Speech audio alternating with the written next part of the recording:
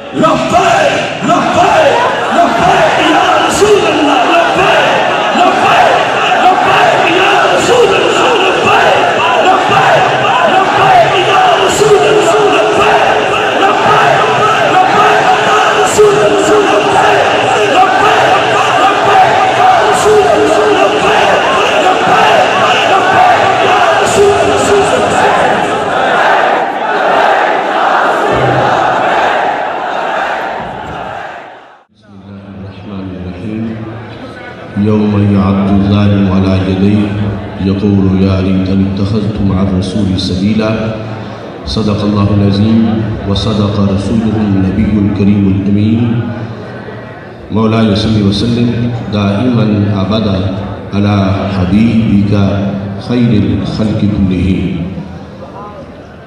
रब जलाल के फजल और तौफीक से मखदूम उमम सैद रजवेल हज़रत सैदना दाता गंज बख्श जवेरी ख़ुदसरज़ीज़ के सालाना उर्स मुक़दस की इस मुक़दस तकरीब में हम सबको शिरकत की सादत हासिल हो रही है।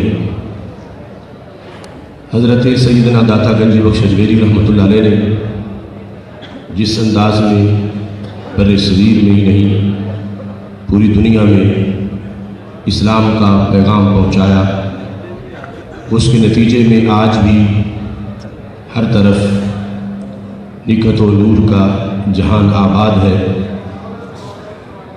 हज़रत दाता गंज बख्श अजवेरी रहमल्ला तौलिया के वो सालार हैं, जिन्होंने बर शरीफ पाक हिंद में दीन इस्लाम का तशख़ुस इस अंदाज में उजागर किया कि बाकी बिराद इस्लामिया में भी आज जब इस्लाम का तारफ़ करवाया जाता है तो हज़रत दातागंज बख्श अजवेरी रहमल्ला ताला की तालीमात की शक्ल में तारुफ करवाया जाता है।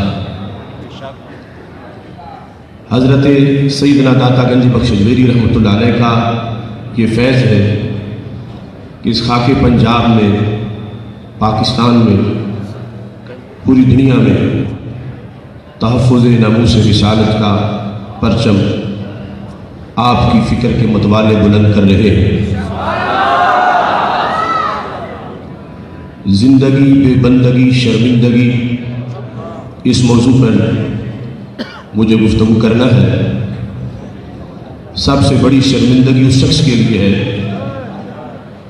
जो नमूस रिसालत के तहफ़ के फरीज़े से पीछे हट जाए। और सबसे बड़ी इज़्ज़त उस शख्स की है, जो नामूस रिसालत का फरीज़ा अपनी जान हथेली पे रख के भी सर अंजाम दे। तारीख इस वक्त फैसला करेगी। तो इस सदी में गाजी मुमताज़ हुसैन कादरी का नाम हमें इज्जतों के हिमाला पे नज़र आएगा, क्योंकि उन्होंने नामूस रिसालत सल्लल्लाहु अलैहि वसल्लम के तहफ़ के लिए अपनी जान अपने खालिक के सुपुर्द की है।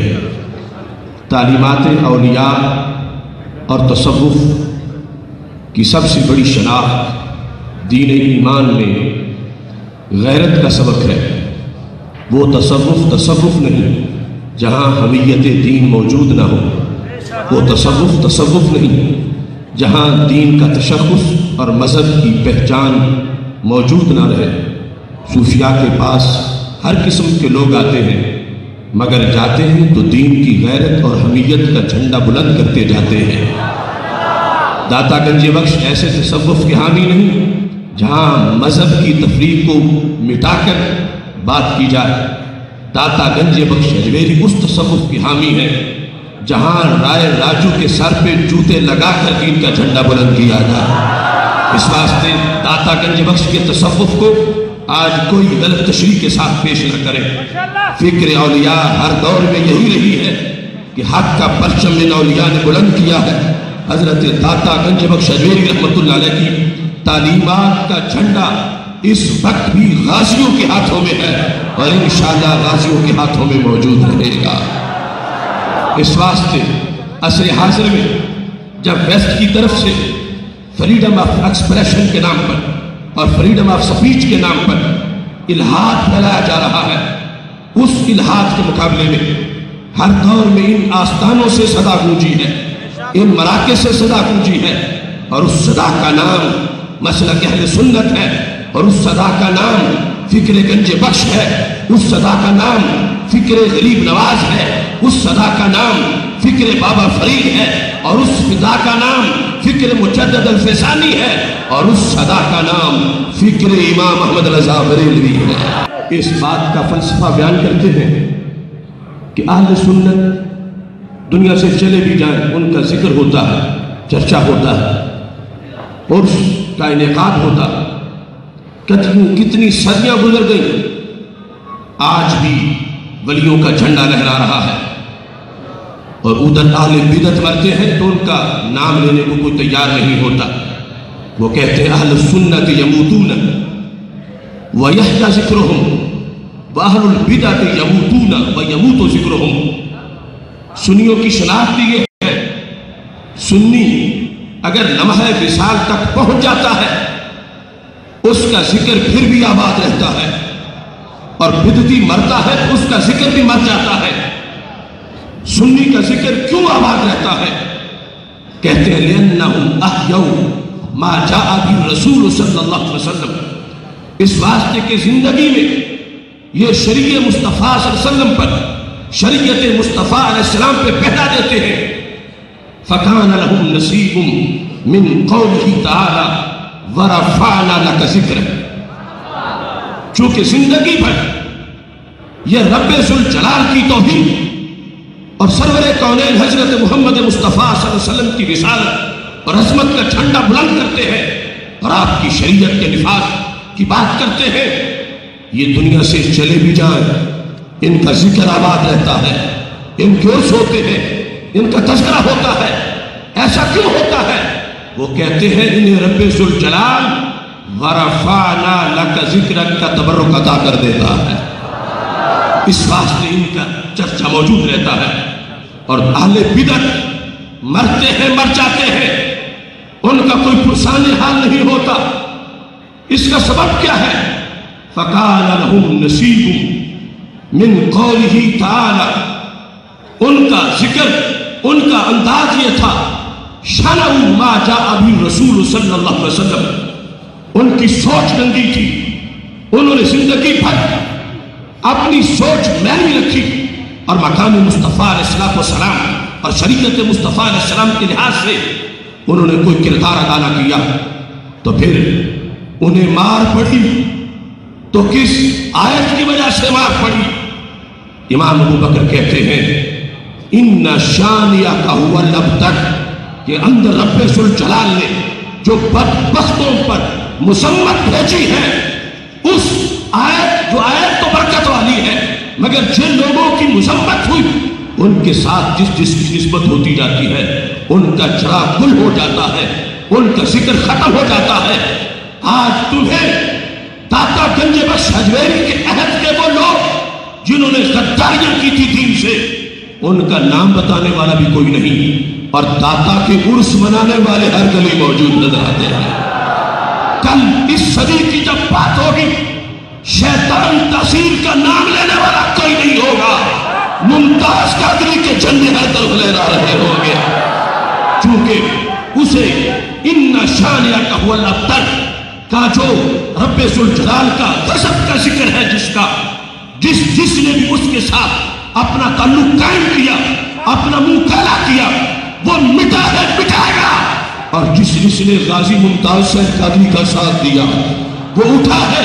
इंशाला उसका ज़िक्र फरफाना लाकर ज़िक्र की बरकत से आबाद होकर रहेगा। उसे कोई रोक नहीं सकेगा। और दाता गंजे बख्श अजमेरी, ऐसे सिलसिले के सरदार हैं कि जिन्होंने अपने अहद मुबारक के अंदर वरफाना लका ज़िक्र के परचम के लिए जिद्दोजहद की, दिन रात मेहनत की, कश्मल महजूब आज भी नमू से रिसालत पर पहरा देने वाला एक वो रहनुमा है कि जिसका कोई जवाब नहीं दे सकता, जिसका कोई मुकाबला नहीं कर सकता। इस वास्ते आज हम उर्स मुकदस की तकरीर में बैठे हैं।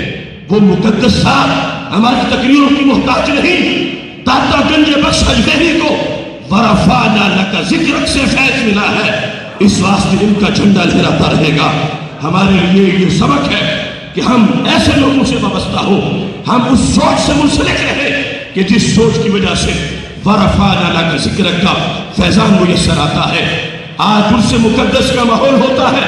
उधर से फिरका वारियत फैलाने वाले कभी लफ्ज दाता पर तनकीद करते हैं, कभी उर्स पर तनकीद करते हैं। इसी औकाफ का खाते हैं और फिर दाता के खिलाफ ज़ुबान खोलते हैं। हमारा मुतालबा है कि हुकूमत उनको लगाम दे वरना दाता के दीवाने लगाम देना चाहते हैं। ये मरकज तोहीद है, ये गंजे बख्श का मज़ाक ये गहवारा तोहीद है। और इसका जो इंतज़ाम सिलसिलात है उसमें इस बात को पेश नज़र रखा जाए, कोई भंगी, कोई चर्सी कोई धुआँ खोटा वाला, वो दाता का वारिस नहीं है। दाता के वारिस फ़िक्र के मतवाले हैं। इस बात से इस मुख्तसर सी गुफ्तगु में अपनी बात खत्म करते हुए इस बात का ऐलान करना चाहता हूँ कि दाता गंज बख्श रहमत के मिशन में है गैर से रहना गैर से जीना गैर से मरना और गैर से अपना पैगाम लेना आज आसिया मलूना की सजा हमारे लिए चैलेंज है और आईनी तौर पर दो सौ पचानवे सी का तहफुज हमारी ज़िम्मेदारी है और चैनलों पर बैठकर जो दो सौ पचानवे सी के खिलाफ जहरीला धुआँ उगल रहे हैं, उनके जवाब के लिए 26 नवंबर को ईवान इकबाल में नमाज़ ईशा के बाद नामूस मुस्तफ़ा वसल्लम सेमिनार का हम इनका कर रहे हैं, जिसमें तमाम शैतानी सोच का जवाब दिया जाएगा और ये वाजह किया जाएगा कि आसिया मलूना की सजा सिर्फ़ आसिया मलूना की सजा सिर्फ़ आसिया मलूना की सजा सिर्फ़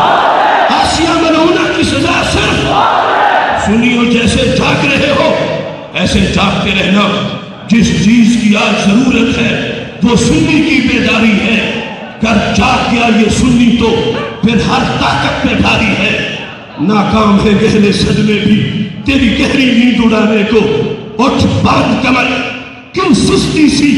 तेरी सोच भी अब तक तारी है। हर कोई अपने मसलक से वाबस्ता रह के जीता है। क्यों सुन्नी? अपने मसलक के इजहार से अब तक आ रही है।